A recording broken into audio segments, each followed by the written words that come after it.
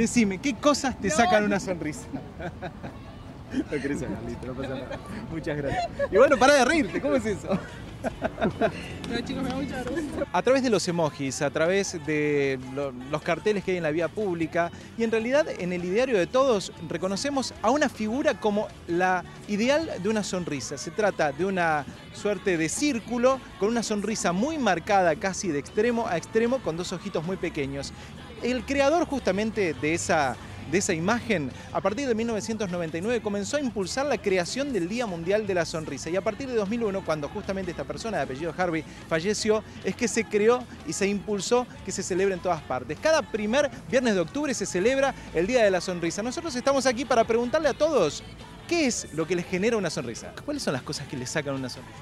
Eh, este momento, estar con mi amiga disfrutando, me saca una sonrisa, ver felices a mis hijas, a mi familia, a mi entorno. Eh, no sé, sentirnos bien. Y esto, compartir un mate, un rato, charlar, pasarla bien. Viste que ahora los adolescentes eh, con el teléfono se sacan todo el tiempo fotos y siempre están sonrientes. Sacamos una nosotros, pero una sonrisa original. Dale.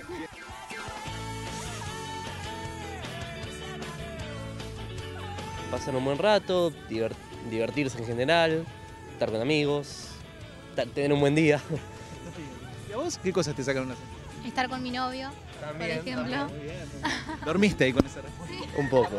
Perdí. Tenés que buscar una. Siempre, siempre. ¿Hace cuánto tiempo que están juntos? Eh, casi dos años. Ah, bien. Sí, sí, ahora en noviembre dos años. ¿Él empezó con que le gustaba ganar? ¿Es así muy competitivo? Sí, pero yo también, así que en eso estamos parejos. No, pero también nos divertimos haciendo eso, así que...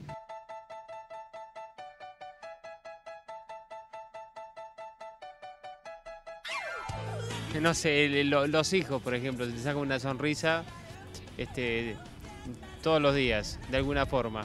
De alguna manera siempre se las rebuscan. ¿eh? Ah, sí, sí, me parece que la, la idea de la inocencia, la, la- esa necesidad de conocer cosas nuevas, de que les produce una alegría que te, te contagia.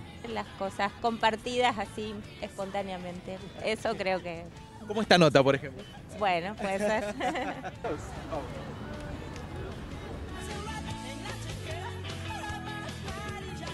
Bueno, te dedicas a hacer malabares. O sea que gran parte de lo tuyo es sacar una sonrisa, porque los malabares generan. Sí, a veces vamos a la esquina con mi amigo y pedimos un par de monedas, la gente por suerte se copa. ¿Se copa la gente? Sí, sí, sí, sí. ¿Son más los que aplauden, más los que dan plata o más los que no dicen nada? Eh, son más los que no dicen nada. Pero, pero, por suerte juntamos a veces y nos vamos de vacaciones con... con- Da, da buen resultado, en serio. Sí, sí, a veces los llevamos a la... Hacemos viajes y vamos haciendo malabares durante el viaje y eso. Contame alguna anécdota de cuando estuviste haciendo malabares en algún lugar. A ver, por ejemplo, yo a veces pienso, ¿qué pasa si se le cae esa pelotita arriba del auto? Son livianas, pero a veces a, hacen con... a él, acá a él se le cayó una vez, por ser el chabón era copado y no dijo nada, pero al auto no le pasó nada. Y una vez también estábamos en un semáforo y nos, contra- no- nos dijeron de ir a trabajar a un, a un restaurante en Mar del Plata.